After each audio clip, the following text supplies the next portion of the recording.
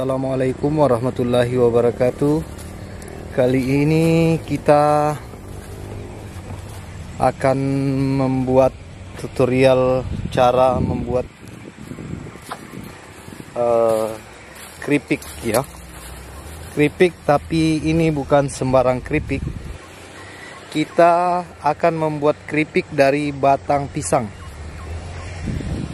Jadi sekarang ini saya sudah dalam perjalanan untuk mengambil uh, batang pisangnya.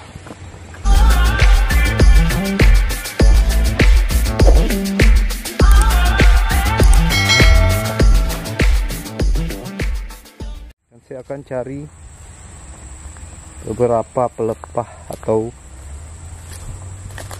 batang pisang ini yang agak mudah sedikit mungkin saya pilih yang agak jauh sedikit ya. Harus hati-hati guys di sini karena banyak lubang-lubang ular biasanya di sini guys. Ular di sini banyak ular hitam dan ular sawah. Guys kalian dengar? Ada bunyi kekukur kita pilih yang dekat sana saja ya. Karena di sini sebelah sana itu batang pisangnya sepertinya agak agak-agak tua. Kita pilih ini saja guys. Kita kupas dulu.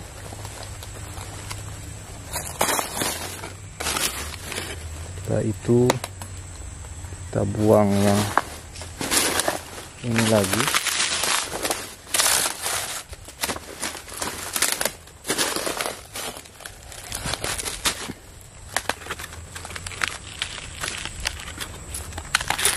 Pas sampai. Pelepah yang berwarna putih. Kali nanti setelah saya mengambil ini orang heran kenapa ada orang yang kurang kerjaan? Sampai mengupas batang pisang ya.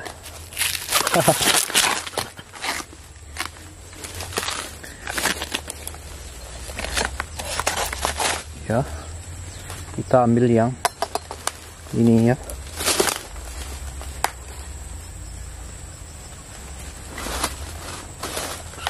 Sepertinya ada bunyi sesuatu guys sepertinya ada sesuatu guys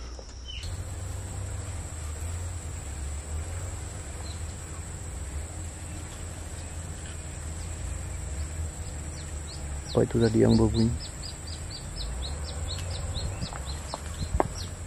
apakah bunyi batang pisang Oke, kita lanjutkan. Kita ambil yang ini lagi.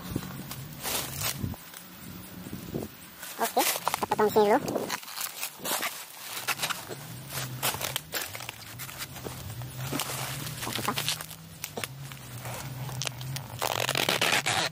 Ya, boleh. Kita ambil yang bagian bawahnya saja, karena bagian yang kecil ini. Kita ambil segini. Kita ambil dua pelepah sudah cukup. Ini terlalu mudah, terlalu tua. Ambil yang sebelahnya lagi. Bisa rasa ini pun boleh guys.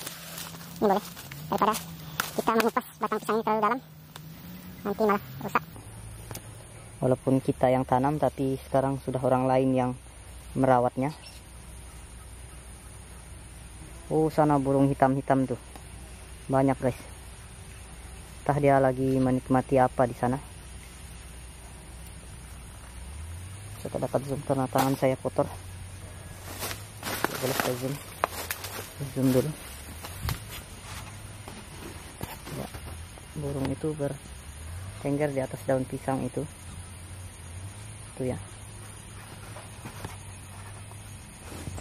Oke, kita lanjut. Kita pulang dulu.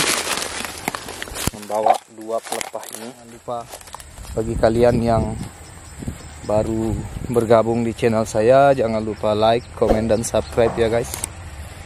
Dan kepada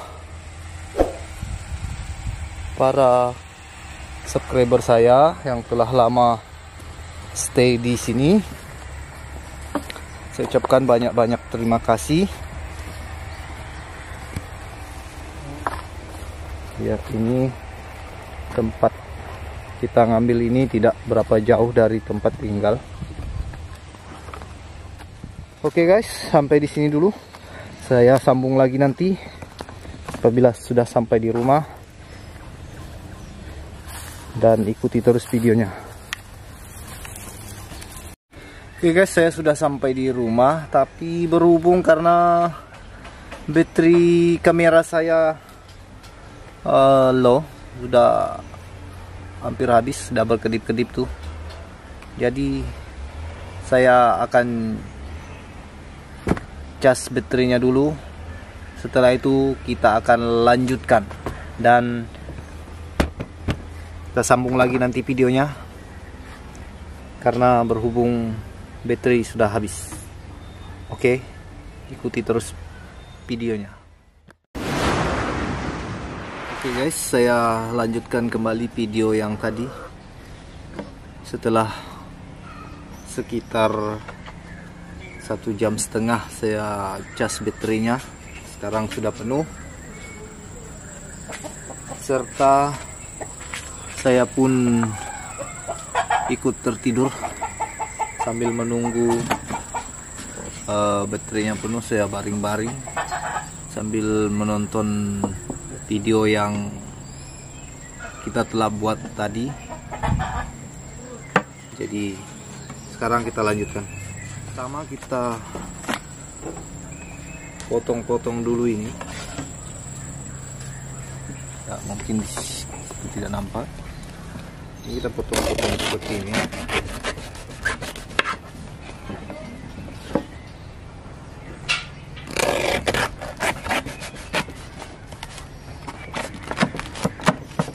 Kita potong seperti ini kita buang yang tipisnya kecil-kecilnya ini kita buang. Kita kupas atau begini saja guys. Kita langsung iris tipis-tipis ya guys. Karena saya rasa susah mengirisnya nanti apabila sudah tiada sudah hilang yang kerasnya. Jadi kita iris langsung dari sini tipis-tipis. Seperti ini. Ya Lalu ternyata pisau saya ini sekarang sudah tumpul.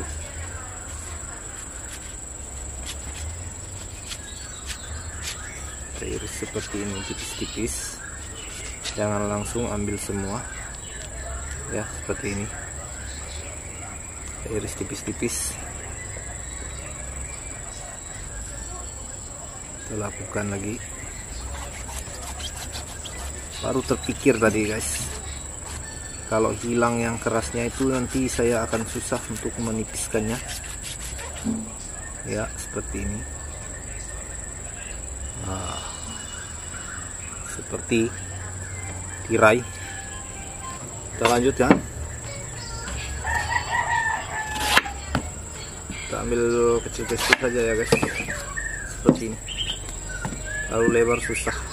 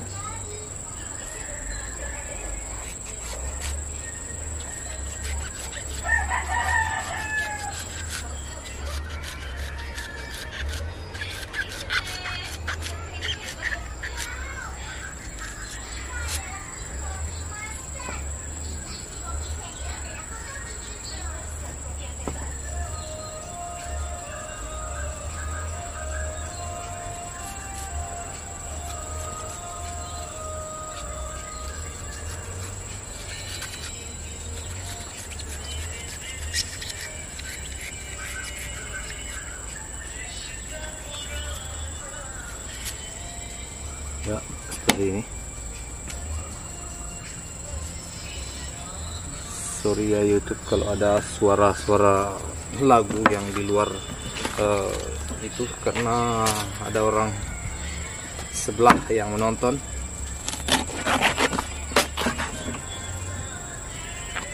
Ini kita potong pendek-pendek semua dulu.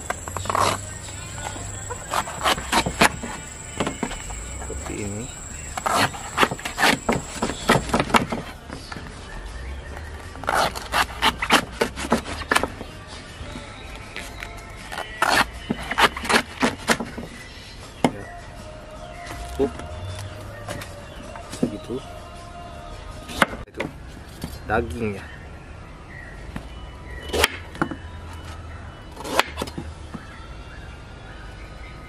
saya sukanya mengambilnya dari sini.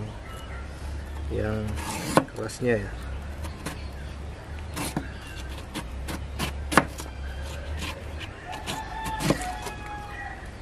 Airnya banyak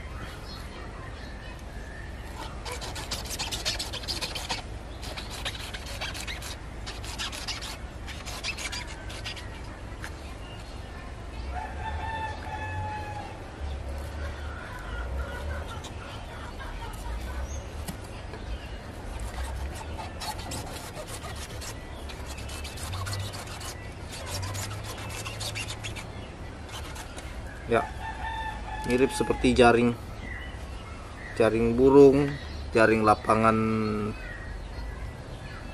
bola jaring net seperti net ya. Net net bola poli net bola tackle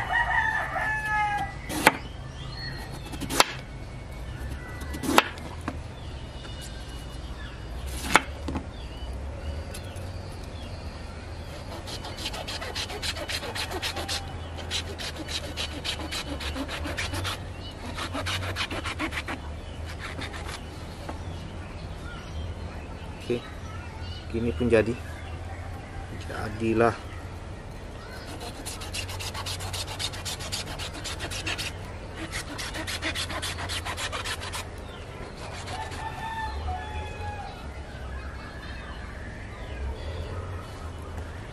Wow, ini tebal guys. Saya boleh ngambil tiga kali. Makin tipis kalian membuatnya, makin bagus nanti hasilnya.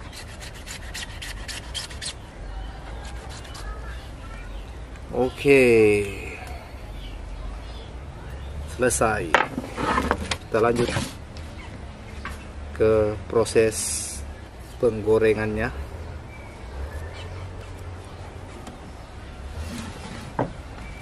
Ikuti terus videonya. Sekarang saya akan menggorengnya.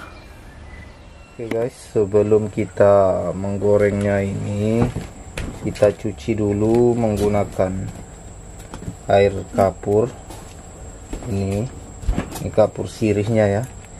Airnya kita kasih kapur sirih kita cuci ininya ke sini. Seperti ini agar dia gurih guys gurih. Kenapa pakai kapur? Untuk menghilangkan kadar air saat dia digoreng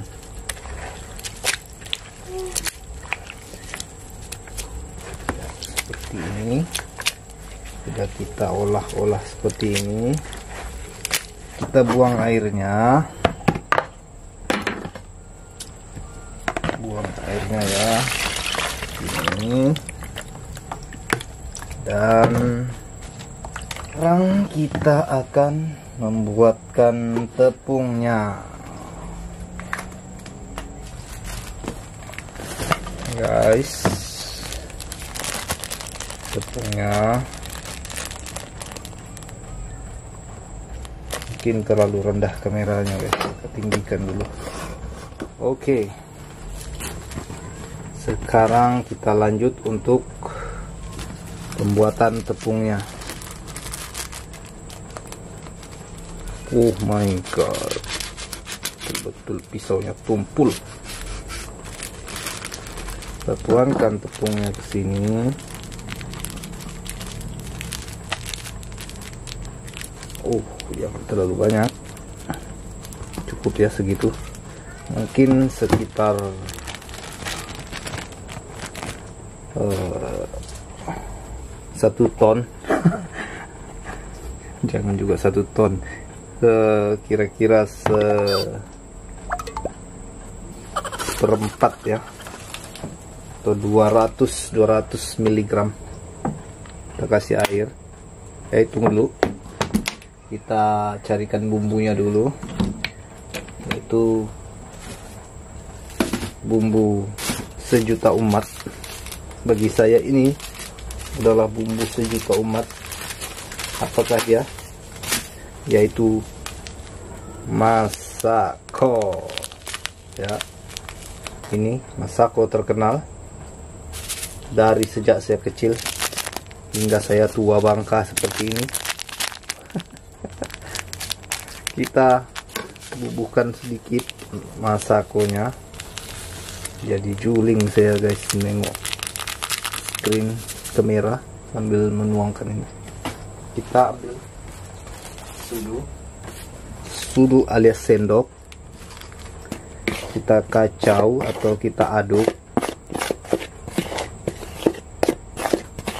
Seperti ini. Kita aduk-aduk. Setelah itu kita kasih air. Air mineral. Jangan air hujan ya guys. Air mineral. Apalagi menggunakan air sungai sangat tidak direkomendasikan. Kemudian di si ini si tangki radiator ini tadi ya ini kita celupin ke sini. Ha seperti ini. Siap untuk digoreng. Ikuti terus videonya. Saya akan menggorengnya. Kita siapkan kualinya. Setelah kualinya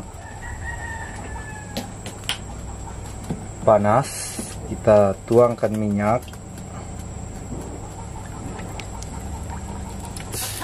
oke kita masukkan. Sudah panas kita masukkan lagi.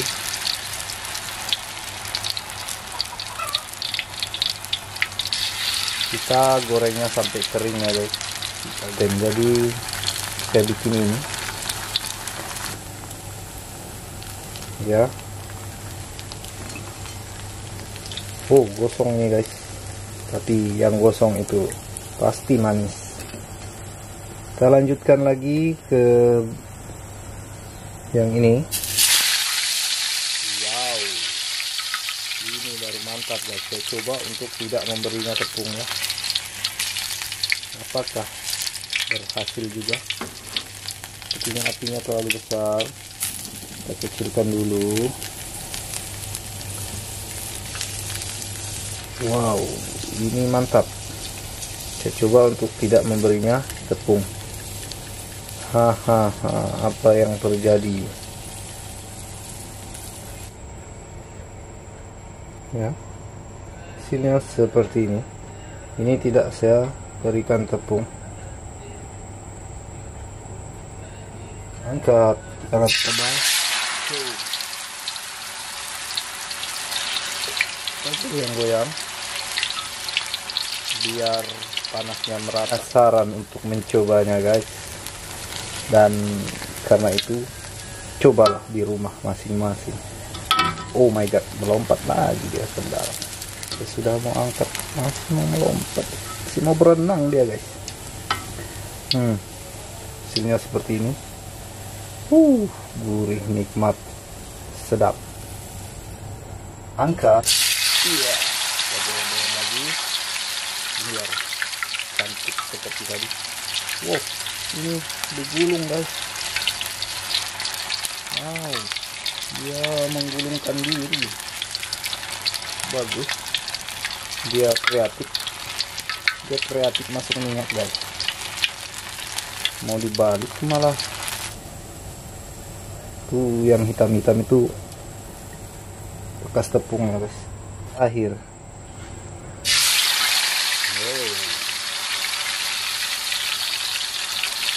goyang-goyang-goyang digoyang-goyang. Terus dibalik digoyang-goyang digoyang-goyang. Digoyang-goyang digoyang-goyang. Oke selesai. Hihi habis menggoreng radiator guys. Hmm, kayak radiator. Ini makanan. Oke telah selesai sampai di sini untuk gorengannya kita matikan dulu kompornya kita tunggu untuk bagian review hasilnya guys. Oke. Okay. oke okay, guys. Nah ini hasilnya. Hmm, sudah digoreng ya. Kita cobain uh rengupnya sedap. Wow. Kita saya coba dulu. Hmm. Sedap guys. Hmm. Hmm. Hmm. Wow. Hmm, kalau ngawin. Rengup-rengup sedap. Hmm, hmm. Saya coba ambil yang ini ini yang guys. Ha hmm. Hmm. Wow. Mantap nih. Hmm. Hmm. Kayaknya sangat sedap. Hmm. Saya sarankan ya. Kalian mengirisnya tuh nanti agak tipis ya kalau kalian coba untuk bikinnya. Yang tebal ini agak keras ya. Yang ini yang tipis ini. Banget hmm. kalian mendengar ya tengok ya saya tekan. Hmm. Hmm. ah. Kita buang dulu. Terlanjur di udak-udak ini yang saya bilang menggulung dalam kuali tadi hmm. sedap kali kalian harus coba guys di rumah hmm. Hmm, hmm, hmm, hmm. ini betul-betul makanan yang nikmat yang kalian pernah lewatkan apabila tidak mencobanya. Hmm. Guys, sampai di sini dulu videonya. Jangan lupa kalian untuk mencobanya sendiri di rumah. Hmm, jangan lupa like, komen, dan subscribe di channel saya. Dan sampai jumpa lagi di video tutorial-tutorial saya yang lain. Assalamualaikum warahmatullahi wabarakatuh.